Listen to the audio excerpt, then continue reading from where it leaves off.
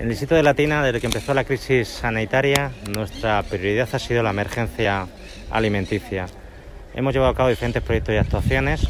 Por ejemplo, hemos subido más de 300 comidas a mayores en situación de vulnerabilidad. Estamos subiendo cestas de la compra hasta más de 800 familias, cubriendo a 3.500 personas con un gran supermercado.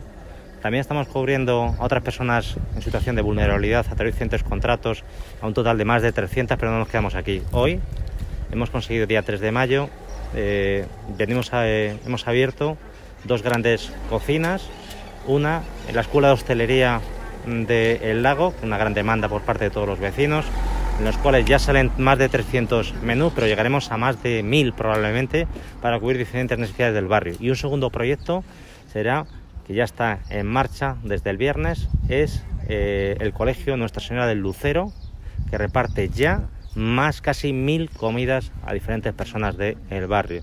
No nos quedaremos aquí y abriremos lo que haga falta si es necesario. Nadie quedará atrás en esta crisis.